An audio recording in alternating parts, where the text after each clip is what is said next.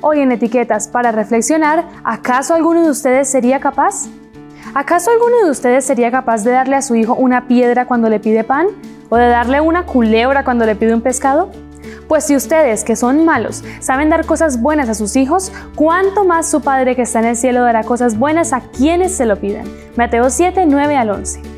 A veces parece que no recordamos el periodo tan largo de tiempo que nos separa del momento en que estas palabras fueron dichas.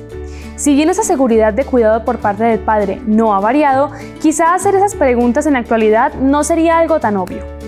Por todos lados vemos abandono, niños que no tienen que comer, padres abusivos que los usan para juntar dinero con el fin de saciar sus vicios, padres que se desaparecen y hogares destrozados, con todo lo que eso implica para el presente y el futuro de sus integrantes, con todo lo que eso implica en el presente y futuro de la sociedad.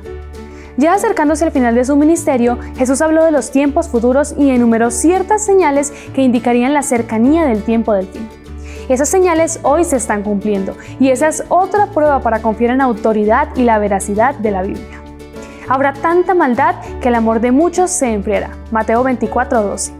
Se enfrentarán el padre contra su hijo y el hijo contra su padre, la madre contra su hija y la hija contra su madre, la suegra contra su nuera y la nuera contra su suegra. Lucas 12:53. Estamos viviendo en esa época. Si Jesús hablara hoy, probablemente tendría mucho menos con qué comparar su amor, cuidado y protección por nosotros.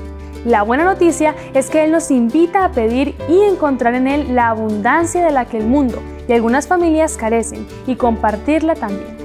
Cuando suplicamos al Señor que tenga piedad de nuestras aflicciones y nos guíe mediante su Espíritu Santo, jamás desoirá nuestra oración. Es posible que incluso un padre se aleje de su hijo hambriento, pero Dios jamás puede rechazar el clamor del corazón necesitado y anhelante. Con qué ternura maravillosa describió su amor. Que tu amor no se enfríe y puedas mostrar a otros el amor de Dios hoy. Hasta la próxima.